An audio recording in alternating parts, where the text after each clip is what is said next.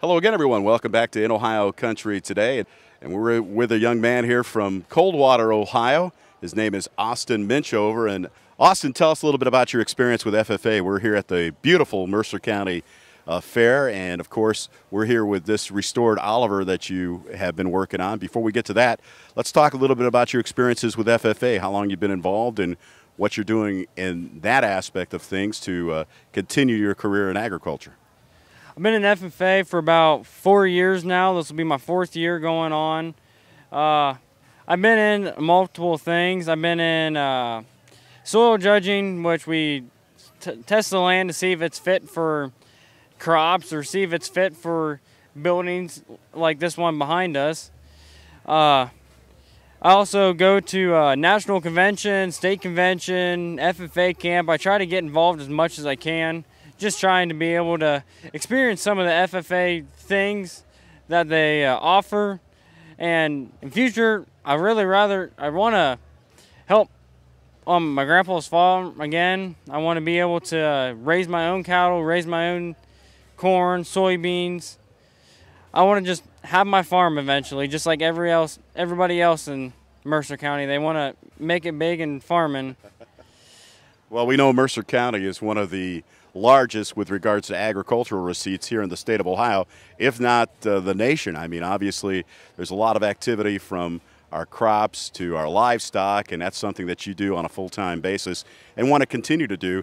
But you have a little something on the side that's really cool. Tell us a little bit, little bit about this, Oliver, how this came to fruition and what it means to you.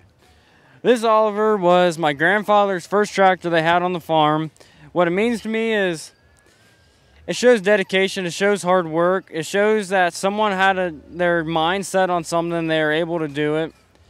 And I wanted to bring it back to where it was when they got it new and when they cherished it. Whenever we got it, it wasn't the best of shape. It was kind of beat up. It was missing parts. It, it needed some help. And I figured to help my grandfather out for a good birthday present is to redo it and give it back to him as a happy birthday. So what we did we had to find the front grill parts because they didn't it didn't come with it.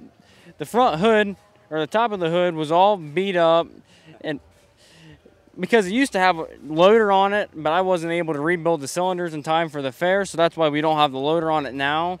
So it was lifting up logs and it was lifting up manure and everything. So it's something's gonna fall on it, and sure enough, it fell on it. So we had to straighten out the metal, repaint it, make it look pretty again. And the way we painted it though is also not not only just for the show mirror factor as the shininess and the cleansing cleanliness of it, but also for the fact that if grandpa wanted to, he could still go out and use it and not afraid to get it dirty, not afraid to scratch it. It's a farm tractor. We paint it to where you can use it, but also show it off and be proud of it. You know, that's one of the things that I think is very unique about this. It's not just a show tractor, it's something that actually is part of the business and you keep it active and in use on the farm. Yeah, we sure do. Sometimes it's pushing snow, sometimes it's just out driving around, and sometimes I'll bring it over to my other grandfather's help and house and help home manure with it or help grind feed or do whatever we need to do with it, maybe sometimes even bale hay. Well, Austin, let's talk about how uh, the domino effect of farming takes place. Of course, you know, you're born and raised on the farm, you get involved in FFA, you get involved in a project like this, you use this on the farm, and it's active and something that means a lot to you. And, and now the next domino to fall is the fact that you got so excited about doing this project that it may lead to uh, another side business for you. Let's talk a little bit about that. Yeah, we. Uh me and a partner of I started a business in memory of my father that passed away in 2012 of cancer. He used to do this on the side note too.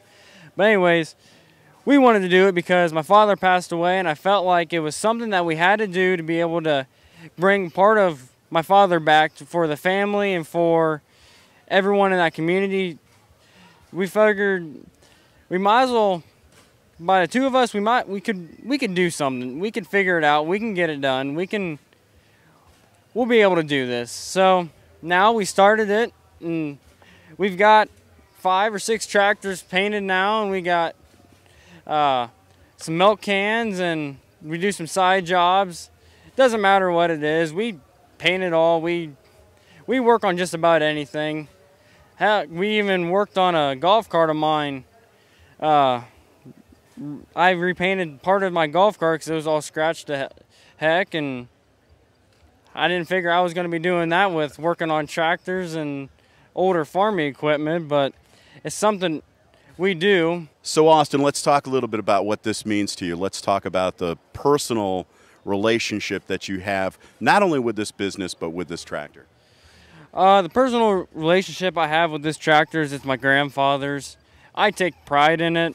I really enjoy old tractors. I mean, I'm a collector of them myself. I have half a dozen tractors at home that I own, and we work. Me and my stepfather worked on, or me and my buddy worked on.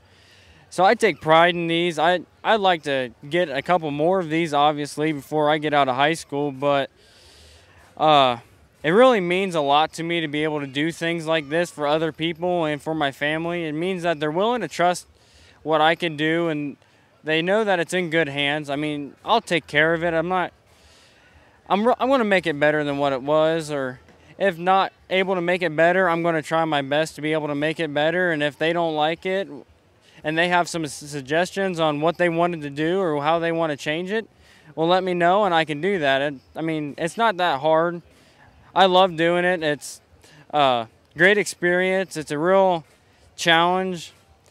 It's just, it's an adventure and it's something you can't really explain without doing it yourself once.